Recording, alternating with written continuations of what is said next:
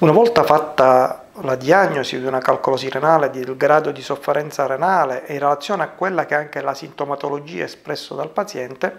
a parte il primo approccio che è quello di trattamento del dolore, è necessario risolvere il problema della presenza del calcolo.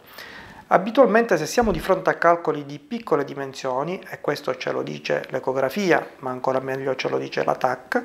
e si ha la possibilità di avere una previsione di un'espulsione spontanea, questo succede per calcoli fino a circa 7 mm, si fa una terapia medica, quindi si segue il paziente per un periodo più o meno lungo, intendendo qualche settimana, con una terapia espulsiva che utilizza e si avvale sia dei farmaci menzionati a proposito del dolore, quindi dei FANS e dei morfinoderivati se c'è necessità, e inoltre ci sono dei farmaci che si utilizzano proprio per favorire l'espulsione del calcolo. Di questi, anche se ultimamente non c'è molta concordanza, il farmaco più utilizzato è l'alfalitico. Sono dei farmaci che allargano il collo vescicale e che rilasciano anche il eh, distretto urinario inferiore, quindi il meato ureterale, favorendo l'eliminazione del calcolo stesso.